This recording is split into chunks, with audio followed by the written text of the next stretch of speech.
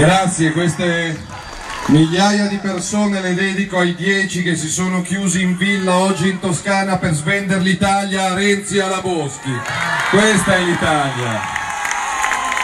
Questa è l'Italia che non si arrende, che non ha paura di mollare una poltrona. Ma voi dovete vederli in faccia, quelli che ci sono in Parlamento a Roma, terrorizzati dall'idea di dover tornare a casa e ricominciare a lavorare saremmo noi quelli che non sono democratici quando noi chiediamo la cosa più democratica del mondo, elezioni, punto, elezioni libere, democratiche, pacifiche, no, noi siamo i fascisti, i razzisti, quelli pericolosi, ma in nessun paese al mondo i fascisti e quelli pericolosi vogliono che parli il popolo e invece gli unici violenti sono quelli che si chiudono in Senato e alla Camera per difendere le loro misere poltrone. Questi sono gli unici pericoli di questo paese, quindi vi posso dire che io ho una dignità e mai con la vita andrei al governo con Renzi, Prodi e con la Boschi. Mai, mai, mai. Con che faccia? Con che faccia, con i disastri che ha fatto Renzi in Toscana, con i disastri che ha fatto Rossi in Toscana, con i disastri che ha fatto il PD, mandate a dirlo quelli che erano per il cambiamento fuori dalle sedi di Banca Etruria, del Monte dei Paschi di Siena, andate a dirlo alle mamme e ai papà di Bibbiano che fate l'accordo col Partito Democratico. La dignità non ha prezzo. Sapete qual è, qual è, il bello? Che la libertà non ha prezzo, non vale 100 ministeri, non vale 100 poltrone da parlamentare, anche perché presto o tardi la scheda elettorale agli italiani la dovranno ridare in mano e gli italiani hanno testa, hanno cuore e non perdonano i vigliacchi e i poltronari. Di questo sono certo. Quindi noi abbiamo calma, abbiamo pazienza anche in queste ore, però rendetevi conto del passato che a volte ritorna, i porti aperti. Ormai stiamo dando per scontato che non sbarchi quasi più nessuno perché abbiamo ridotto dell'80% gli sbarchi rispetto all'anno scorso, del 90% rispetto all'anno prima. Pensate che in un solo weekend del 2016, quando c'era il governo Renzi, in quattro giorni ne sbarcarono 13.000 13.000 in 4 giorni, adesso in 8 mesi li abbiamo fermati a quota 4.000 e nonostante questo stanno provando a tornare indietro. Avete visto la vicenda di queste ore, peraltro raccontata in, in maniera indegna dalla stragrande maggioranza dei telegiornali è per questo che io amo stare in mezzo a voi, amo stare in mezzo alle piazze, in mezzo alla gente. Perché se uno deve informarsi guardando qualche TG o leggendo qualche giornale cavallo. Ebbene c'è questa nave spagnola di una ONG spagnola che, ha, che, era in acque internazionali che ha detto fate scendere 13 persone perché stanno malissimo. Le visitano e stanno benissimo. Ha detto fate scendere 27 perché sono minorenni. La metà sono maggiorenni. Ha detto dobbiamo sbarcare perché c'è un'emergenza sanitaria a bordo. Sono saliti i medici nessuna emergenza sanitaria a bordo, trova qualche giudice italiano compiacente. E una delle prime riforme che dovrà fare il prossimo governo è la riforma della giustizia fondata sulla certezza della pena, sulla certezza della pena e chi sbaglia paga, altro che... Poi sì, abbiamo visto, c'è andato Richard Gere, si vede che si annoiava, poi ovviamente ha preso una barca di, di, diverse dimensioni ed è in giro per il Mediterraneo, però ognuno fa quello che vuole. Qualche ministro, mio collega, dice no, però poverini ci vuole umanità. Io dico non è umano aiutare i trafficanti di uomini, di donne, di morte. Questi sono trafficanti, gli scafisti sono trafficanti e le ONG, consapevoli o inconsapevoli, aiutano questo traffico di esseri umani. Ebbene, il colmo è che dopo 17 giorni in cui un ministro ha tenuto duro e ha detto qua non sbarca nessuno il governo spagnolo finalmente oggi dice Salvini è un delinquente, quindi apriamo un porto spagnolo, la nave spagnola cosa dice? No, in Spagna non ci vado, rimango qua in Italia. Ma vi rendete conto della follia? Anzi dice a meno che non carichiamo gli immigrati su una nave militare che li porta in Spagna. Aspetto di capire se il ministro della difesa italiano è sveglia o dorme per caricarli e portarli in Spagna domani mattina. Perché il ministro della difesa è pagato per difendere i confini di un paese, non per farli scavalcare i confini di un paese, teoricamente. Ma questo è solo uno degli esempi. Ragazzi, ci aspetteranno giorni e settimane belli tosti e impegnativi perché da una parte c'è il partito della poltrona. E leggevo che qualcuno dice che li metteranno insieme tutti. Oggi ho visto un'intervista di Prodi che disegnava questo governo. P... eh. Vabbè. Però, disegnava il governo. PD, 5 Stelle e Forza Italia. Mamma mia. Mamma mia. Anche perché è un governo PD 5 Stelle sulle tasse non oso immaginare che cosa possa fare, sull'immigrazione, sullo Jussoli, sulla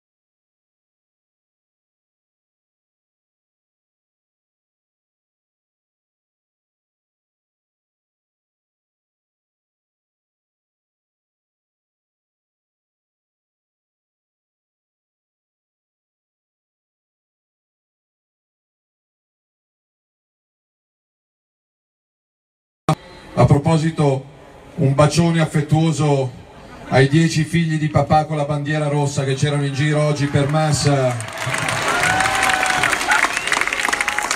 Hanno fatto shopping, li ho visti. Cioè, ma domenica 19 agosto 2019, le notizie sono due. Forse c'è vita su Marte e ci sono ancora dei comunisti in Italia due notizie falce e martello. Che tenerezza. Poi è bello che c'è che si chiamano potere al popolo e partito democratico ma non vogliono le elezioni. Perché poi i fascisti siamo noi.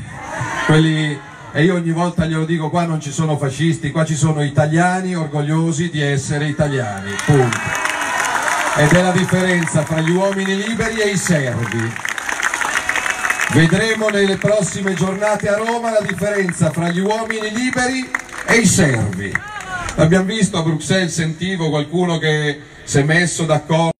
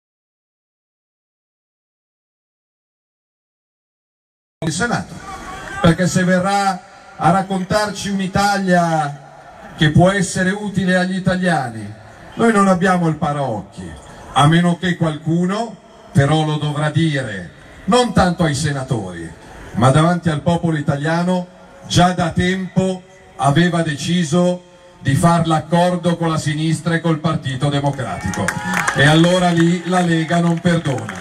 Allora se c'è il tradimento nel, nel, nome delle poltrone e allora la Lega non perdona. Noi per carità in questi mesi quanti ne abbiamo mandati giù? Quanti insulti? Ricordo Toninelli che ha detto che sono un nano. Io non mi vanto della mia statura né fisica né morale, per carità di Dio. Però adesso se dobbiamo aprire il dibattito, però, però va bene, va bene.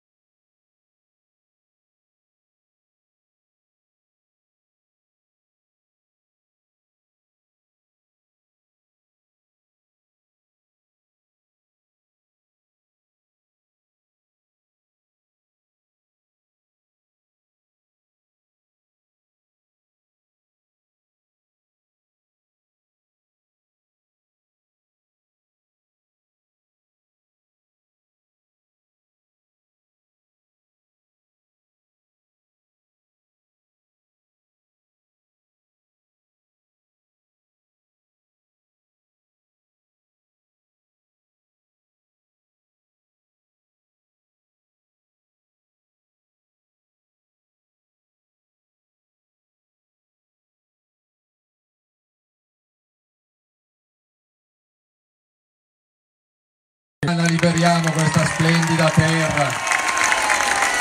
L'hanno massacrata massacrata.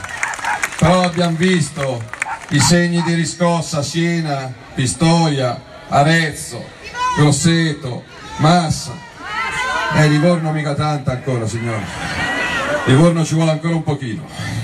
Però eh ci arriviamo ci arriviamo. Pisa. Pisa ho visto il sindaco e arrivare in una città dove finalmente sgomberi dei campi rom che aspettano da 40 anni di essere sgomberati.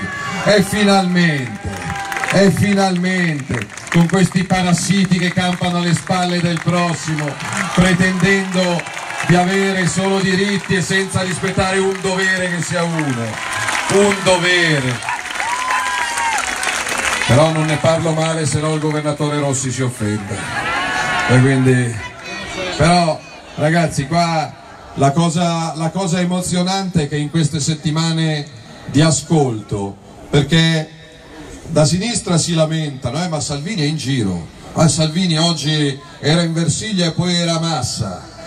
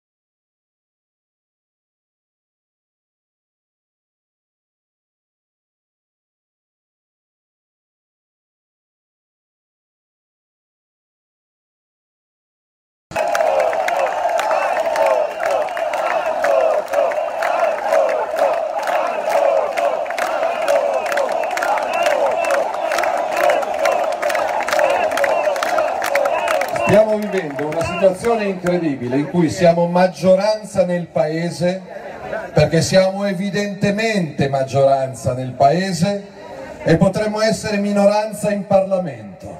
Non farei mai a cambio, non vorrei mai essere minoranza nel paese ma abusivamente maggioranza in Parlamento per tenermi la poltrona sotto il culo. Mi tengo stretti gli italiani e vi lascio le poltrone, se amate tanto le vostre poltrone. E se avete dignità troviamoci a ottobre in cabina elettorale. E lasciamo che siano gli italiani a decidere chi deve governare questa terra per i prossimi cinque anni, non quattro poltronari. Anche perché l'emergenza di questo paese dalla prossima manovra economica è una. E forse su questo hanno avuto paura, perché la Lega sarebbe riuscita a fare anche quello.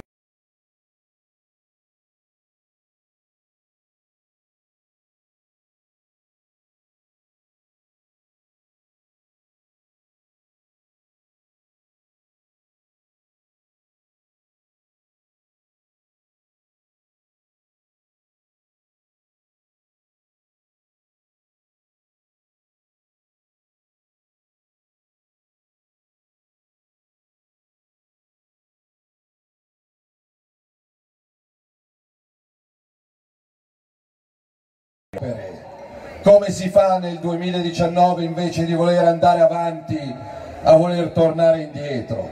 E poi ci sono città stupende come Roma massacrate. Non so quanti di voi ci siano stati per lavoro o per vacanza ultimamente. Una città massacrata dall'incapacità e dall'incompetenza essere onesti è fondamentale ma non basta, bisogna anche essere capaci di fare il proprio lavoro, altrimenti si creano disastri. Piano piano, con pazienza, come una squadra. Noi non ci chiudiamo in villa, non organizziamo le Leopolde o le segreterie di partito.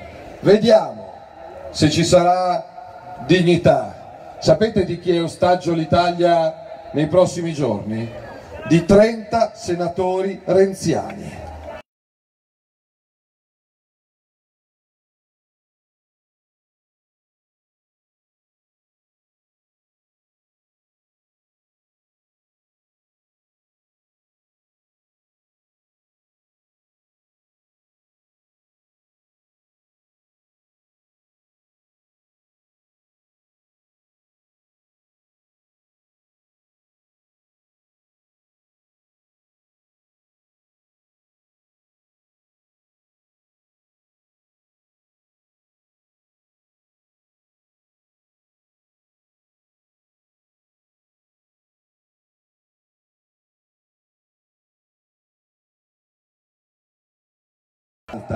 Occhi negli occhi, martedì, mercoledì e giovedì, in Parlamento. I 5 Stelle dicono, eh, ma la Lega vuole far saltare il governo per non tagliare i parlamentari, ma l'abbiamo votato tre volte, siamo pronti questa settimana a votare per la quarta e ultima volta il taglio dei parlamentari. E vediamo chi ci sarà con noi, vediamo chi scapperà, chi scapperà. Vediamo gli amici del Partito Democratico, visto che Di Maio è molto sensibile e mettono insieme il diavolo e l'acqua santa, poi non, non, sta mai a dire che il diavolo è l'acqua santa, uno che vuole tagliare le poltrone e quell'altro che vuole moltiplicare le poltrone. Eh, auguri, ma non sarebbe un problema per Matteo Salvini. Matteo Salvini è, un, come dice Giovanotti, un ragazzo fortunato. Ho avuto e conto di avere ancora emozioni e soddisfazioni straordinarie. Quando giro per strada e mi ferma un poliziotto, un carabiniere, un vigile del fuoco dicendo Ministro siamo con lei perché lei è il nostro Ministro. Per me è tutto, non ho bisogno di altro. Per me è l'emozione più grande sentirsi dire lei è uno di noi e invece qualcuno vuole riportare al governo quelli che difendono i centri sociali che rompono le palle a mezza Italia e prendono a bastonate i poliziotti quando vanno a fare le manifestazioni. Ognuno si tenga il suo, io mi tengo ben stretto la mia Lega, piccola, arcigna, coraggiosa, libera e non in vendita. A noi le poltrone servono se quelle poltrone ci aiutano a fare qualcosa di utile per il Paese, altrimenti lo stiamo dimostrando in 15 secondi sette ministri si alzano, salutano e ringraziano. O si governa o si vota. Tirare a campare no, perdere tempo no, passare le giornate a litigare no. E mi tengo questa settimana e settimana scorsa non solo in Toscana, Lombardia, Veneto ovviamente, però Calabria, Puglia, Sicilia, Molise, Basilicata, Campania, Abruzzo, Lazio, tanta gente che ha voglia, non ha voglia di assolutamente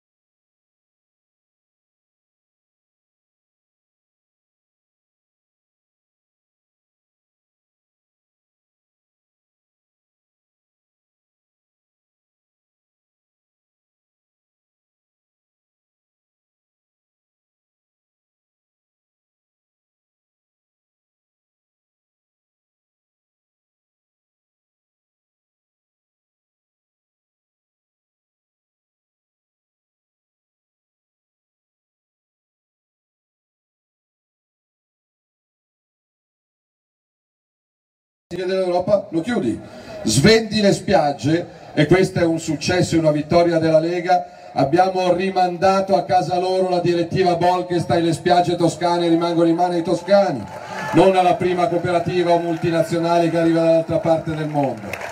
E poi ci avevano abituato a vivere da servi, ci toglievano un pezzo di mare, un pezzo di monti, un pezzo di monumento, un pezzo di scuola, un pezzo d'asilo, un pezzo di fabbrica e ce lo chiede l'Europa. E quindi tagliamo tutti, non fai manutenzione delle scuole, eh, ma non si può, ce lo chiede l'Europa. Non fai manutenzione delle strade, eh, non si può perché non c'è, vai in pensione a 97 anni, perché ce lo chiede, ce lo chiede l'Europa. Io vi dico che quando andiamo al governo perché noi ci andiamo al governo, quota 100 è solo l'inizio, l'obiettivo finale è quota 41 andare in pensione dopo 41 anni di lavoro, di fabbrica, di negozio, di scuola, di ospedale, di azienda, di cava di marmo, di camion, 41 anni. È l'obiettivo. E ci arriveremo, e ci arriveremo, quindi stiamoci reciprocamente vicini perché siamo nel giusto. Ho visto sta settimana, no cos'era, ieri, Saviano ha detto Salvini deve finire in galera. Oh. Lui che è democratico, lui che è democratico. Oggi c'è un altro, invece un altro fenomeno, un, uno dei fondatori dei Gesuiti, padre Bartolomeo Sorge, che ha detto che Salvini è come la mafia, che vive grazie alla paura e all'odio. Fortunatamente ci sono anche tanti parroci che la pensano come noi e lo stiamo vedendo e alzano la testa e io li ringrazio.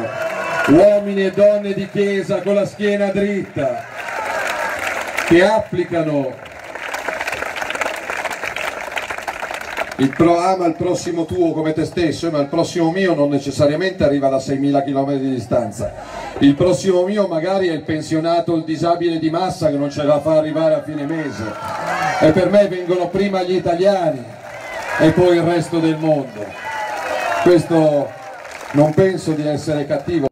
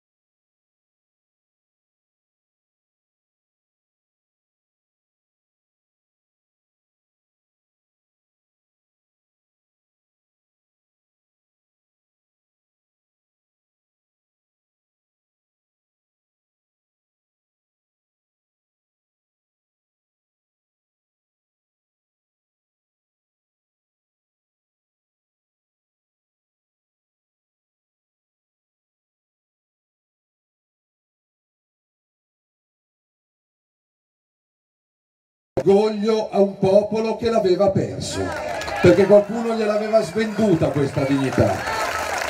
Sbeffeggiati in giro per il mondo, ah sì, tanti in Italia tutti fanno quello che vogliono, vanno dove vogliono, entrano dove vogliono, spacciano, pisciano, cagano, chi se ne frega, tanto nessuno dice niente a nessuno. Diritti e doveri. E questo, certo, si fa fatica ogni tanto a dire no, è più facile come i figli, è più facile dire sempre sì. Se però tuo figlio dici sempre sì, non tiri su una persona con la schiena dritta. Ogni tanto il no fa male ma è più utile del sì. E questo vale a casa come vale al governo. E abbiamo cercato di applicarlo. In questo anno ne sono orgoglioso e sono convinto che insieme abbiamo ancora obiettivi grandi davanti a noi ma non obiettivi piccoli perché i grandi della storia e qua non ce ne sono di grandi della storia semplicemente ci sono dei modesti e umili operai al servizio degli italiani. I grandi della storia però insegnavano che per fare cose grandi devi sognare in grande, devi darti un obiettivo grande. E quindi lascio ad altri l'unico obiettivo di salvare la poltrona e spartirsi i ministeri. Non darò mai a nessuno la soddisfazione di togliere il disturbo perché sono e voglio continuare a essere orgogliosamente il ministro della sicurezza di questo paese. E se vogliono fare qualcosa di diverso lo dicano a testa alta guardando negli occhi le persone, lo dicano, senza tante menate, tanti arzigogoli, lo dica. Venga Grillo Di Maio a dire Salvini, abbiamo scelto Renzi e Prodi, per carità, spiegatelo agli italiani e prima o poi in cabine elettorali ci torniamo, tenetevi la vostra poltrona domani mattina.